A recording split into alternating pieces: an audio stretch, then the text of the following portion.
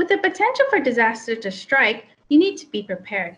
But there are things you can do to protect yourself and your family while preparing for hurricane season during the COVID 19 pandemic. Hey, I'm Lucha Morales, and this is Houston Happenings. Hi, Corey. Thanks so much for joining us today. Thanks, Lucha, for having me. So, can you tell us a little bit about how people can prepare for hurricane this year? What's going to be different? So, the public needs to understand that their planning may be different this year because of the need to protect yourself and others from COVID 19. We recommend that you give yourself more time than usual to prepare your emergency food, water, and medical supplies. Home delivery is going to be the safest choice for, de- for buying supplies this year. Uh, we know that might not be an option for everyone, so if you have to do in person shopping, make sure you practice those guidelines from the Houston Health Department, from the Center for Disease Control on social distancing, and wearing a face covering when in public. What about the potential need to evacuate if someone gets notification that they are in an area that needs to evacuate or they need to go to a shelter? So we want to assure residents that life safety, no matter the emergency, is that's always going to be our top priority.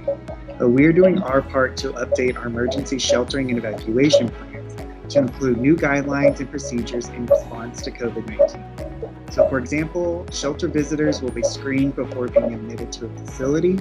There are new guidelines in place for social distancing, increased disinfection of actual facilities, and we're implementing isolation procedures for symptomatic visitors or those who may have been exposed to someone with COVID 19. Uh, otherwise, plan the same way you would any other year, and please include considerations for your family's specific set of needs, and that includes making plans for your pets as well. If someone does need to evacuate, and they've got to get things together. What what should they take with them? What is going to be a priority for people who are needing to leave quickly and get somewhere safely? Definitely. So if you need to evacuate, we always tell the public to create what's called a go kit. So that includes some personal items you can't do without during emergency. That includes having important documents, making sure they're in a waterproof bag or container, uh, cash on hand, phone chargers, a portable first aid kit, and some snacks and maybe bottled water as well. And this year specifically, we're telling the public to include items that can help protect you and others from COVID 19. So that includes hand sanitizer or bar or liquid soap, as well as at least two cloth face coverings per person. What about people who might need assistance evacuating um, or people who are trying to stay informed? How, how can they sign up for alerts what is the best way to find out what's going on from the city?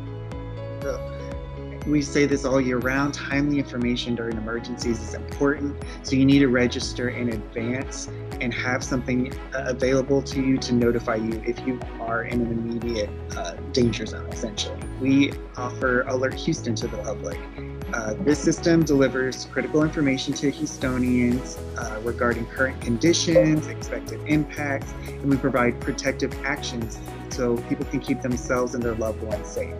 Residents can sign up for alerts at alerthouston.org. Alert Houston is a year round notification system that actively sends out notifications for any type of potential weather, traffic, or other current conditions.